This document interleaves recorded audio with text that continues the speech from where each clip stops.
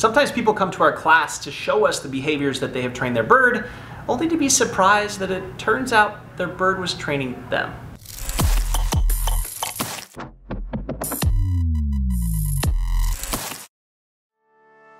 Today I'm working with Joyce and her blue and gold macaw, Pablo, who's 11 years old. I began by having Joyce walk me through the different behaviors that Pablo knew how to do. Target.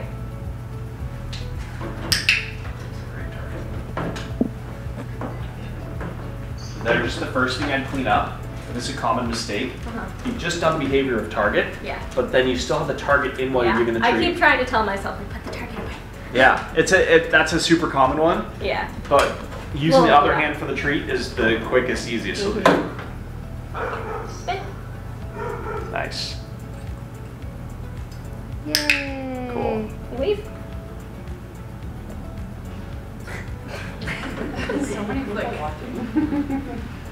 Stage fright. There you go. Okay. Usually does it a little higher, but Okay. Something on the wave on this next one. Mm-hmm. Um, do you normally treat when his foot's still up?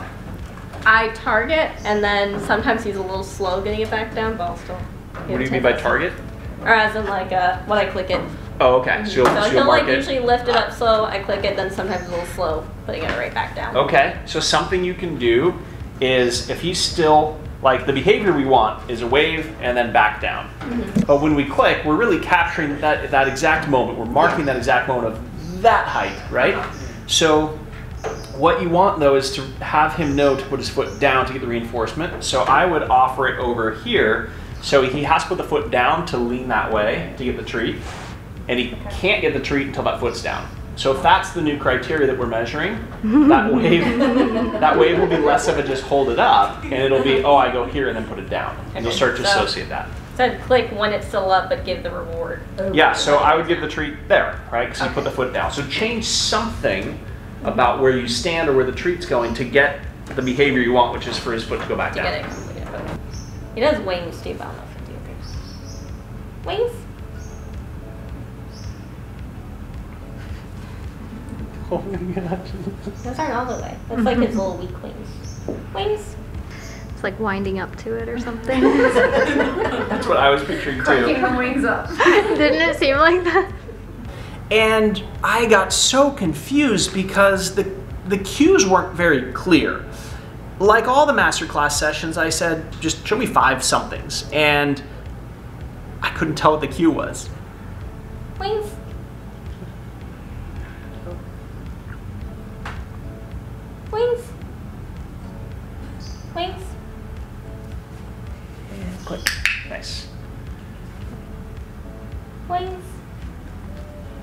Right there, that was just a little unclear to him if he deserved the treat.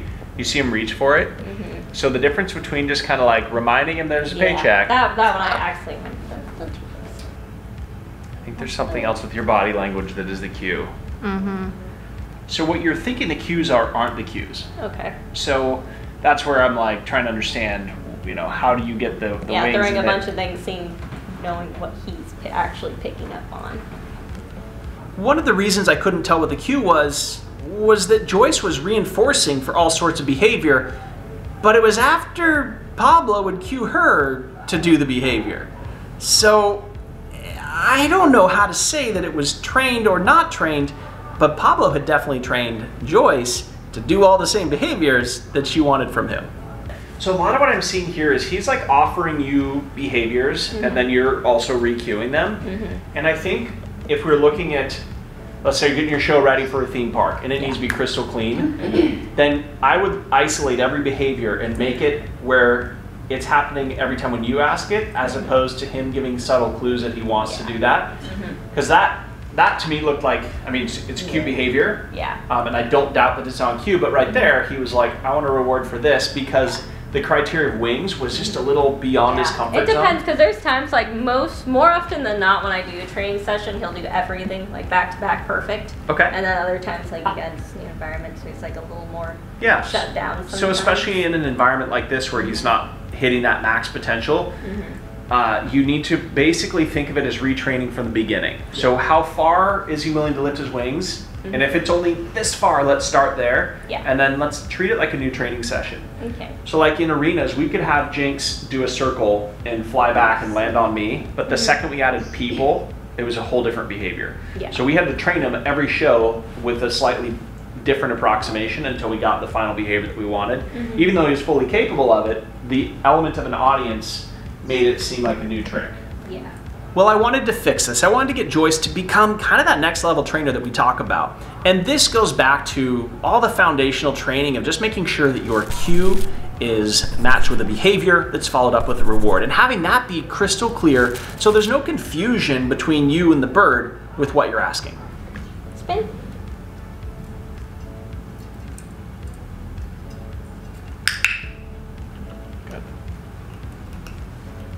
And then I would go for a wings here when he's when he looks ready. Wings. Yeah. Go for it. One of the behaviors that was super cute was wings up. And the thing that I loved was that Pablo would like wind up and then the wings would go up. But I couldn't tell what the criteria was. Are the wings supposed to be all the way out or is it the wind up and like a little bit out like this? So when I pried further and I asked Joyce, what's the cue? I don't know. There was a lot of different stories, but I never found out what the cue was. And then Jamie finally pointed out there was no cue. So right now we're about to take this great behavior. We're going to try to get the bird into a begging phase so that we can start to assign a cue. So just a treat. So now if he does that approximation again, no treat, no click. We need it to be better. But that was like he's he's starting to associate it, so we want to continue to encourage that. Wings.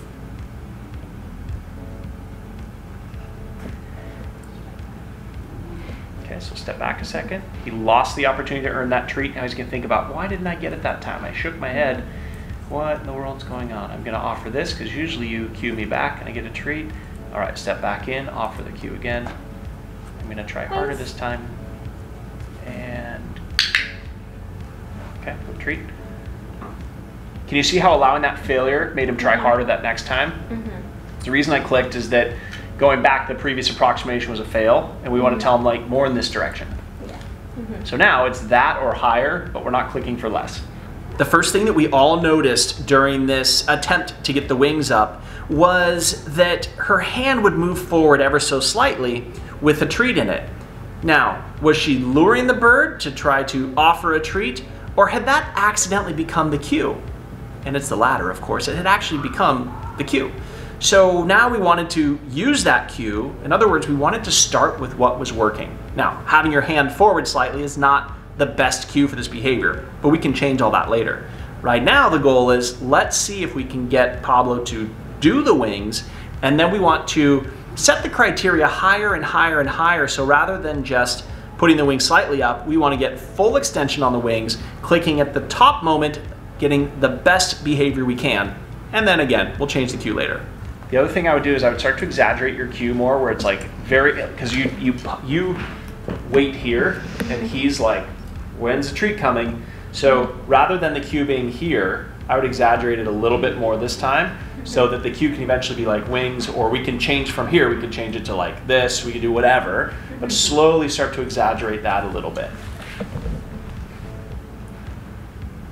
Wings.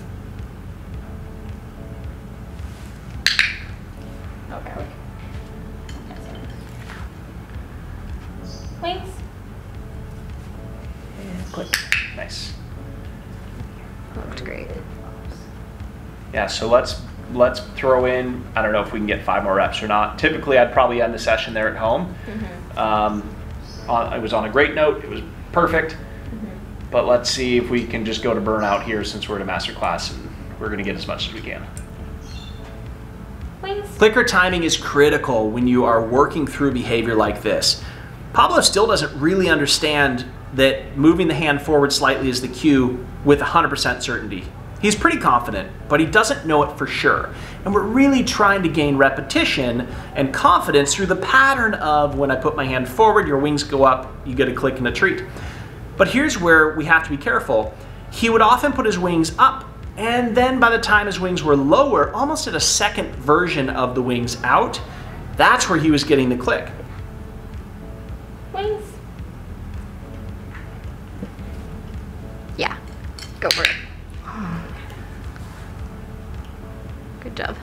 I was like, oh, ah. It's like, do it.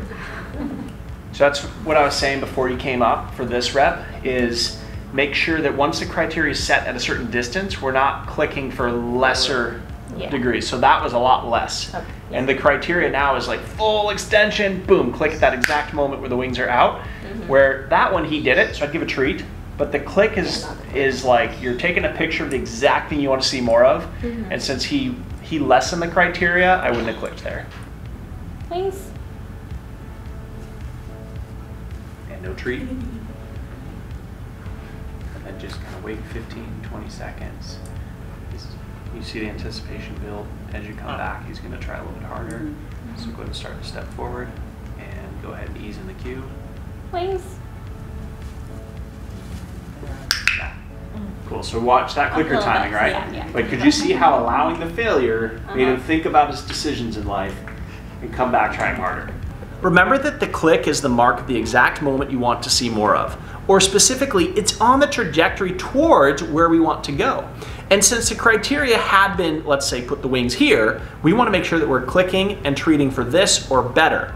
Whereas what was happening here and causing a little more confusion for Pablo was sometimes he'd get the click here, sometimes he'd get the click here. Wings. Nice. That was beautiful, beautiful prompts. And the fact we clicked at the same time is telling me you're seeing the same thing as I am. Mhm. So that's the new criteria. Okay. And we really need to get that. Mhm. And now you know what your cue is. Especially is. paying attention. to So where careful, you just cued him going. three times. Right? so that but those are important details to know. Like it, the way you step back, that's a good reaction. So when I'm not in the bubble, I can Yeah. gesture, I can do whatever. But the moment Okay. they, Yeah. he thinks you're engaged, we have to really watch what those hand motions are. Mm-hmm. By the end of this trading interaction, you could see that Joyce was actually able to successfully click for the most perfect, if that's proper English or not, don't care. She was able to click for the best part of that repetition, and it tells me that she's really on track to be able to get that particular behavior really dialed in. Now, I'll be honest, it's not going to happen just in one masterclass in most situations. She will need to go home and really focus on that clicker timing. But I do want to give a little disclaimer here and offer Joyce a little bit of credit. It's going to be really easy for all of you watching this right now, and you may have already put in the comments like, oh, I can't believe she's clicking late.